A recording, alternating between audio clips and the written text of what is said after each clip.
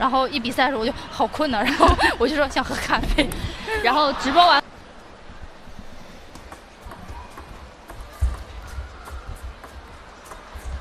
哦，很细腻。都短了。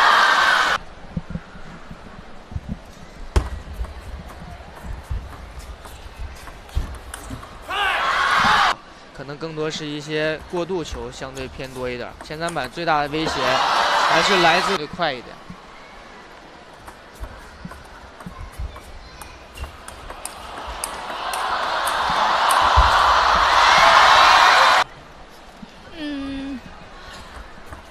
我觉得这些都是比赛的一部分吧。是就是比较在生活中是也是一个特别就随和的一个人吧，我觉得啊。但是要是总感觉人在场上不是特别兴奋，或者总觉得不舒。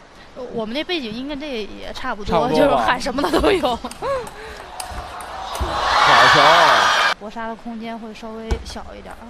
对，就如果他进攻的点能再早一点。哎，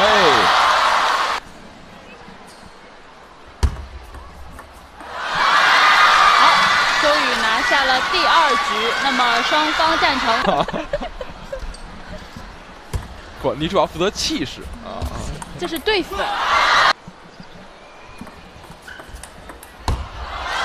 你更需要没有明显漏洞之后的，还要特长突出吧。对，他们也一边非常。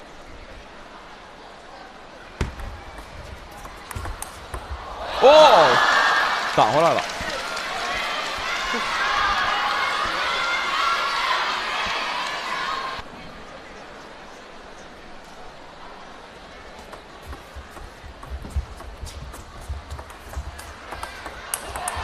好球！但是在相持过程中，许昕就展现出他的优势了。